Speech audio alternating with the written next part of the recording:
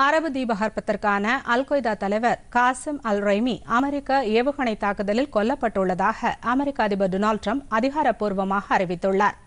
இது குறித்த தகவல் ஜனவரி மாத இறுதியிலிருந்து பரவி வந்த நிலையில் அரபு தீபகற்பத்தில் அல் கொய்தா கடந்த இரண்டாம் தேதி காசிமின் ஆடியோ ஒன்றை வெளியிட்டது.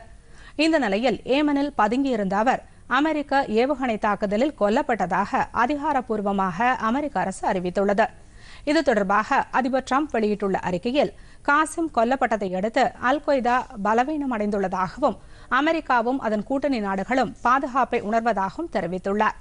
இரண்டாயிரத்தி ஒன்பதாம் ஆண்டு ஏமன் மற்றும் சவுதி அரேபியாவில் அல் கொய்தாவை நிறுவிய காசிம் அந்த நாடுகளில் அமெரிக்கா மற்றும் ஐரோப்பிய படைகள் மீது பல்வேறு தாக்குதல்களை நடத்தி வந்தார்.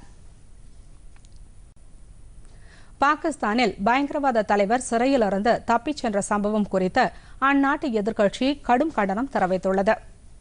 தாரிகி தாலிபான் பாகிஸ்தான் என்ற பயங்கரவாத அமைப்பின் செய்தி தொடர்பாளராக உள்ள எசனுல்லா எசன் கடந்த ஜனவரி மாதம் பதினோராம் தேதி ராணுவ சிறையிலிருந்து தப்பிச் சென்றதாக செய்திகள் வெளியாகின. இதுகுறித்து அவர் வெளியிட்ட வீடியோ ஒன்றில்தான் வெற்றிகரமாக தப்பிவிட்டதாக தெரிவித்திருந்தார்.